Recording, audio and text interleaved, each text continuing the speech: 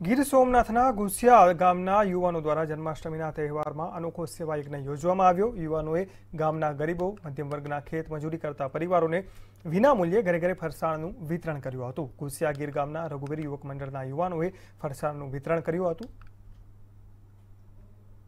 અમારી રઘુવીર યુવક મંડળ એક ટીમ છે અને છેલ્લા બાર વર્ષથી અમે લોકો જન્માષ્ટમીના તહેવાર ઉપર કુલ નવસો જેટલા પરિવારને ઘરે ઘરે જઈ અને વિના મૂલ્યે બધું ફરસાણનું અને વિતરણ કરીએ છીએ.